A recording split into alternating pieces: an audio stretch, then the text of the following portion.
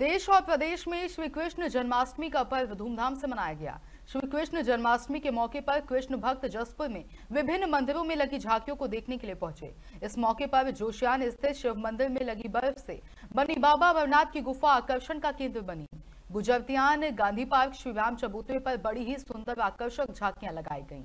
People देवता मंदिर खाओ प्रतियोगिता की गई। रात 12 बजे कृष्ण के जन्मोत्सव का पर्व मनाया गया। जसपुर से प्रदीप श्रीवास्तव की रिपोर्ट। जन्माष्टमी है।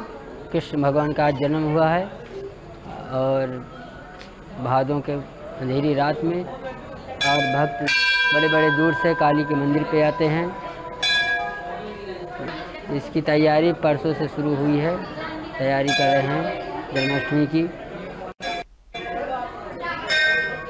झांकी है, सजावट है, मंदिर के भगवान की सजावट की मैं मुझे, मेरा नाम शिवकांत पांडे है, पुजारी जी, और मैं 2009 से आया हुआ हूँ इस मंदिर में। इतने साल 16 साल हो गए मंदिर पे रहते हुए। हाथी घोला पाल की, जय कन्हैया लाल की। आज जन्माष्टमी के शुभ अवसर पर समस्त क्षेत्रवासियों और देशवासियों को जसपुर की प्राचीर से मैं जन्माष्टमी की शुभकामनाएँ देता हूँ। और जन्माष्टमी की शुभकामनाओं के साथ साथ जो हिंदू धर्म अपने त्यौहार मनाता है, विविध विभिन्न भाषाओं के इस देश में, हमारा जो समाज है, हिंदू समाज, जो पूरे बस पूरे विश्व को, वसुदैव कुटुम्बकम, यानी पूरी पृथ्वी को जो परिवार समझता है, ऐसा हिंदू समाज अपने त्योहारों के माध्यम से इस समाज को एक संदेश देता है। और आज जिनका जन्म दिवस हम मना रहे हैं, जन्माष्टमी के उस अवसर पर